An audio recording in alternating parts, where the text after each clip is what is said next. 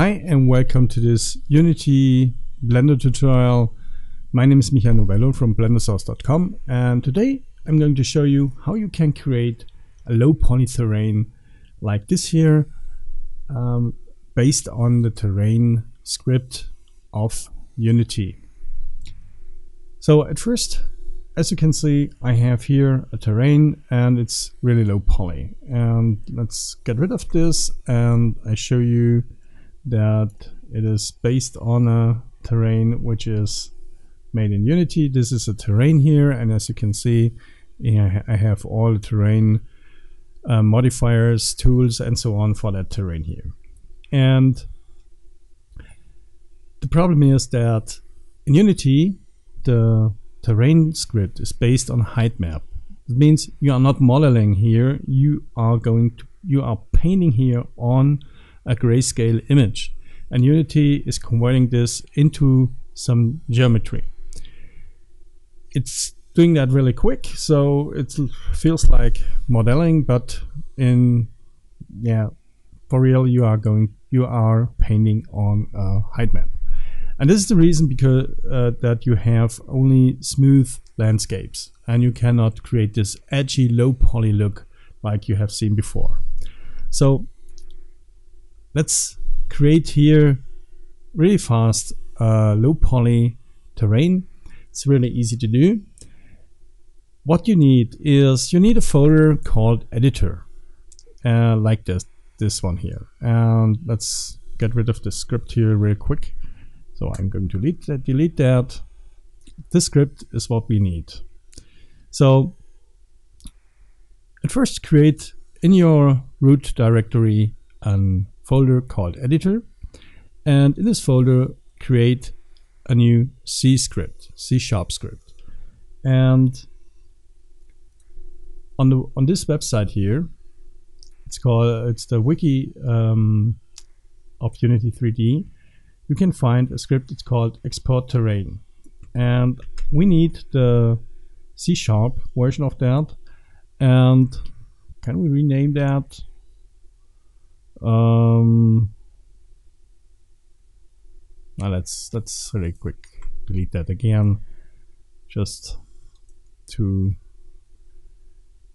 show you the way so create C script pasting in the name and it has to be that name. It is case sensitive, so please be aware that you have to pay attention to the case sensitivity. Okay, so let's open that script here, or yeah, the, the empty file.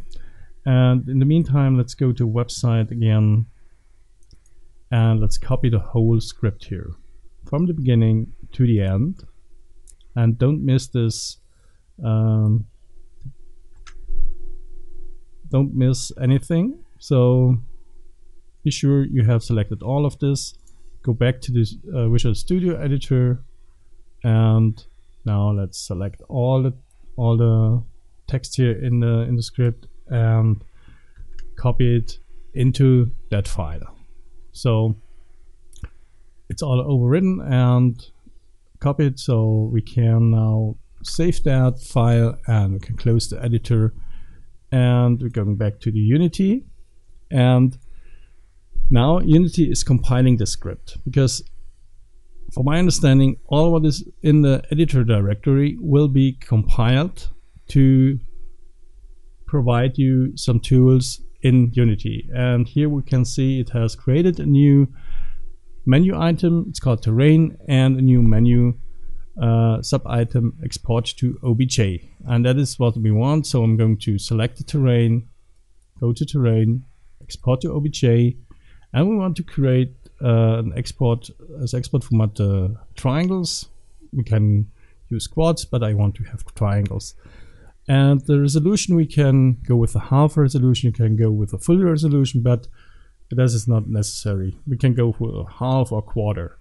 even a quarter will work for our um, creating of the terrain here. So I'm going to export that and I'm have exported it before. So I'm going to export this as terrain one and save it. And I want to replace it. Yes. And now it's exporting it. it converts the height map or this this model here into a OBJ file. Now, now we can go to Blender and go to import OBJ.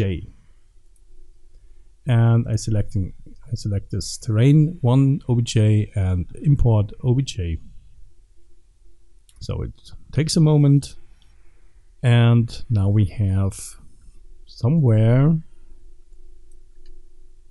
hello terrain where you are? Ah okay there it is. There it is. It's way way up so um you have to find it. Say it like that okay now let's go into the edit mode and let's move it down just to the to the pivot point. Let's grab it and move it down wherever it is right now. Um, yeah there's a little bit of problem here. Um, so let's go in that. Let's go to the side view again and let's move it over is a little bit a problem I think of the script um, because the pivot point is way off. So now yeah that's okay. I can live with that. So I'm zooming in. And the first step uh, I want to do is add a modifier. So let's add displace modifier and create a new texture and go to into the textures. And I want to have cloud texture here. And the base the basis base will be um, cell noise. And as you can see now uh, it's this helps us to create this low poly look here. And I want to scale it up just a little bit like like that this is okay. So going back to the modifiers and add another modifier. In this case uh, decimate modifier and I'm going with a ratio of 0.1 and as you can see now we have a really good looking low poly terrain and it depends on the size how uh, big you want to have your landscape. Maybe you should go with 0.4 or 0.3 whatever helps to get the right size. So this this time I'm going to use 0.3 so it is a little bit more as a higher resolution and yeah it's cool. So I'm going now to apply the modifiers. At first the displacement modifier and then the decimate modifier. And yeah it looks really cool. And now I'm going to file export FBX and I'm going to save it into my asset folder where I have saved my asset and I'm going this time with terrain number two and be aware that you have to check this checker here selected objects only. So export that and let's go back to Unity and let's get rid of the high resolution um, terrain here. And in the models we have now the terrain 2 and we can put it in. And as you can see now we have a beautiful low poly landscape which you can use in your game asset or in your low poly game. Okay, that's it. This is how you export uh, Unity terrain to Blender, convert it in a low poly and export it back into uh, Unity 3D. And now you have maybe the problem that you can now not anymore distribute any objects like trees or grass on the on the mesh here. Because it's a mesh it's not longer a terrain. And to now workaround is that uh, I have here I've bought a tool called mesh brush.